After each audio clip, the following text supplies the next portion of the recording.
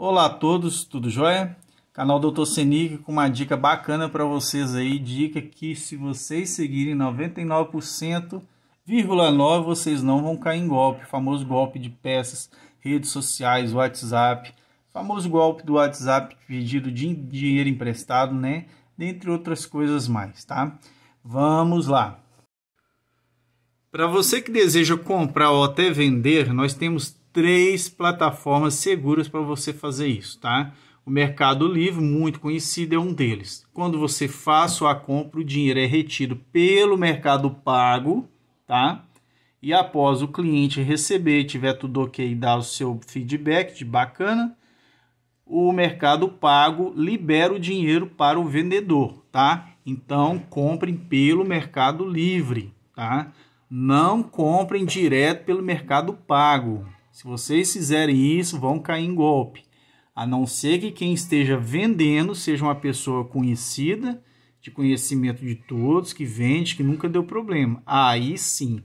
Do contrário, você não conhece o vendedor, não comprem via Mercado Pago direto. Comprem Mercado Livre, tá? Então a primeira plataforma é o Mercado Livre. A segunda plataforma é o Shopee né? Muitos já conhecem e é a mesma coisa. Você compra pelo Shopee, o dinheiro é retido, tá? E após o cliente receber a mercadoria, tiver tudo ok e ele der o seu feedback de ok, aí sim a empresa parceira do Shopee libera o dinheiro para o vendedor, tá bom, gente? Então, via Mercado Livre e via Shopee. Temos uma terceira plataforma que poucos conhecem, mas é super bacana. Eu já comprei, já vendi. É o OLX Pay, tá? O OLX Pay é uma perninha do OLX. Se você fizer o anúncio pelo OLX, tá? Somente pelo OLX, é aquela famosa tradicional venda. Você anuncia, a pessoa quer, encontra com você e também corre risco de golpe, tá? Muito cuidado. Ou se houver certas confianças confiança e for tudo honesto, a pessoa paga, a outra envia. Mas é um meio um pouco complicado. Então, o ideal, você quer vender pelo OLX, venda e faça a negociação pessoalmente, tá? Então, OLX. Mas a gente tem a perninha do OLX, que é o OLX Pay. É como se fosse Mercado Livre e o Shopee.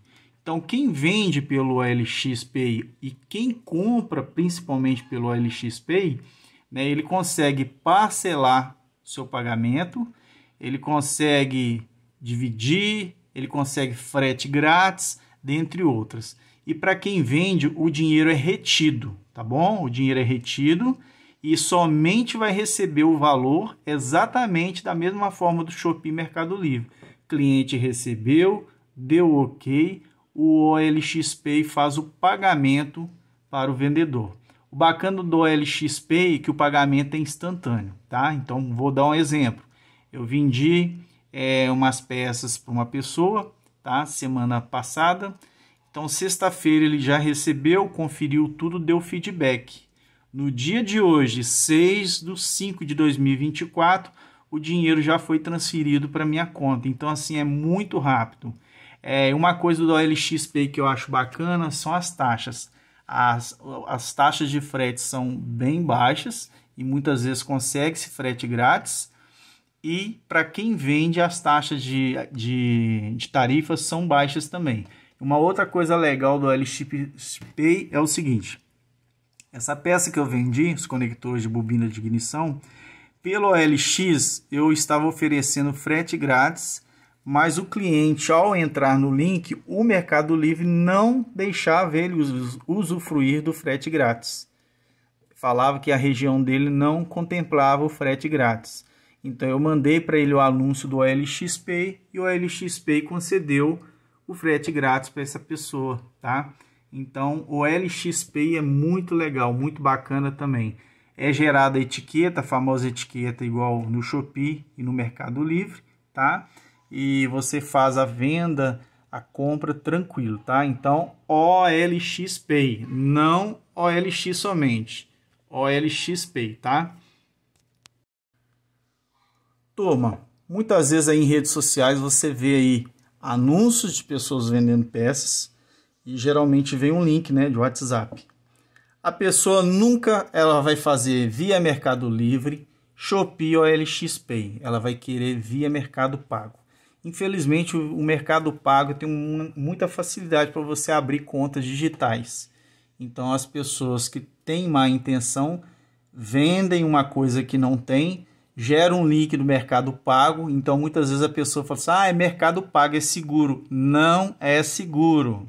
Não é seguro o Mercado Pago, tá, gente? Então, se vocês fizeram a compra via Mercado Pago para alguém que vocês não conheçam, dificilmente vocês vão reaver o seu dinheiro, tá?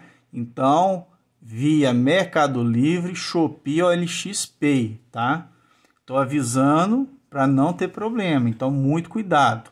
E a mesma situação é você fazer um Pix, o famoso Pix direto para a pessoa, passar o endereço e aguardar as peças. Não façam isso que vocês vão cair igual, vai ficar sem dinheiro, tá?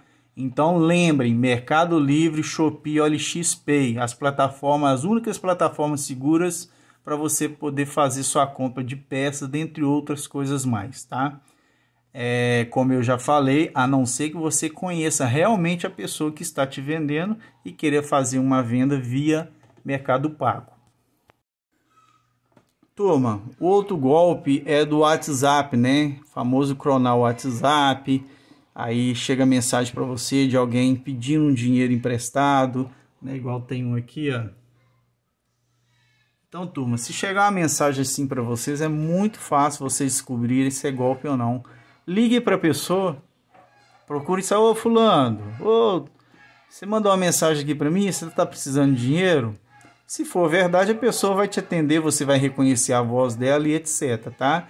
Então, nunca transfiram dinheiro simplesmente porque vocês receberam uma mensagem, seja de seu pai, de sua mãe, de seu filho, tia, seja quem for, recebeu uma mensagem, né, é, de pedido de, de, dinheiro, de empréstimo, não façam, liguem para a pessoa, peça para a pessoa retornar fazendo um vídeo, olha, sou eu aqui, ó, eu estou precisando de um dinheiro, tá?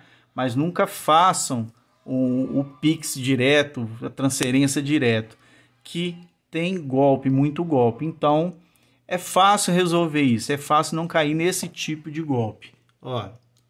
E outra coisa, principalmente, muitas vezes a pessoa pede, o golpista pede um dinheiro emprestado e pede para depositar numa conta de outra pessoa. Né? Então, se uma, uma, um conhecido meu quer um dinheiro emprestado, se eu tiver de transferir para ele, eu transfiro para a conta dele e não para a conta de terceiros, tá? Então, recebeu mensagem no WhatsApp, turma, Ligue para a pessoa, pede para a pessoa retornar para você, fazer chamada de vídeo para você realmente comprovar se é ela ou não. A questão de golpe de peças, né? Como eu já falei, redes sociais, WhatsApp, tá aí, né? E as pessoas que são agem de má fé, elas nunca vão passar o endereço é, para você comprar a peça pessoalmente. Quando passam é endereço falso. Ou às vezes até endereço sim de uma empresa legal, que já aconteceu muito. Né? Então muitas vezes eles pegam vários dados da empresa, anunciam as vendas e passam endereço, dados da empresa que muitas vezes a pessoa acha que é realmente, tá? Mas não é, tá? É, muitas vezes também pedem dados pessoais, é a pessoa inocente vai lá e passa dados pessoais, né? E depois é mais complicado. Então, se alguém estiver vendendo peças, não entra no WhatsApp não, pede para fazer um vídeo, ô fulano, faz um vídeo aí das peças que você está vendendo. Se a pessoa for honesta mesmo, ela vai fazer um vídeo, ela vai mostrar a cara dela, né? Olha, sou eu aqui, eu estou vendendo essas peças aqui, etc, etc. Se for verdade mesmo, ela vai fazer um link, um link, né, da venda Mercado Livre, Shopee e OLX Pay, tá? Se não fizer o link, sai fora, gente. É golpe. Turma, caiu no golpe de Pix? Tem como você tentar recuperar o valor que foi retirado de você de forma é, sacana, né? Vamos dizer assim, tá? Então tem uma tem um, um, um sistema dos bancos via Banco Central. Eu não sei se os bancos digitais funciona da mesma forma. Eu acredito que sim, mas eu não tenho certeza. Mas os bancos tradicionais, Itaú, Banco do Brasil, Caixa, etc., quando você cai num golpe do PIX, você tem até 80 dias para poder fazer a reclamação no banco qual saiu o valor, tá bem? Com isso, o Banco Central faz um rastreio e bloqueia as contas aonde o dinheiro saiu, de onde o dinheiro saiu para onde foi, e se houver transferência dessa conta que recebeu para outras contas, também tudo é rastreado, tá bom? Tem um conhecido aí que caiu num golpe, no dia seguinte ele percebeu, entrou em contato no Banco Itaú e dois dias depois ele conseguiu reaver o dinheiro do Pix que ele tinha feito. Parece que no valor de mil reais, tá? Então tem uma resolução aí, tem um, um, uma lei, eu não sei dizer ao certo, mas no Banco Central, no site do Banco Central, você consegue todas essas informações. Aqui é parte do informativo relacionado ao Banco Central, tá? É necessário registrar o pedido de devolução na instituição, é gerado um protocolo, então você anote nome, horário, nome do atendente, o protocolo que ele te passar e aguarda até 10 dias, tá? esse desconhecido com quatro dias conseguiu ser resolvido, tá bom? Então você tem até 80 dias para poder fazer essa reclamação. É, e deixa o ciente, tá? É reclamação honesta, tá bom? Porque quando o dinheiro é encontrado, eles não retornam dinheiro para você de cara, não. É feito toda uma vistoria para saber se a reclamação procede ou se não é golpe também de quem está reclamando. O nome é MED, tá? Mecanismo Especial de Devolução é um mecanismo exclusivo do Pix para facilitar devoluções em caso de fraudes. Você tem até 80 dias para poder fazer sua reclamação junto ao banco o qual saiu o dinheiro. Então, turma, é isso daí. Essa mensagem que eu gostaria de passar para vocês aí. Espero que tenha ajudado de alguma forma, tá? E muito cuidado aí em relação a essas negociações. Volto a dizer, vai comprar Mercado Livre, Shopee, OLX Pay, tá? Fora essas plataformas, outras plataformas de sites realmente verdadeiros, né, da, da, das concessionárias, dentre outras lojas de peças que são verdadeiras, tá? Então, muito cuidado com isso daí, tá?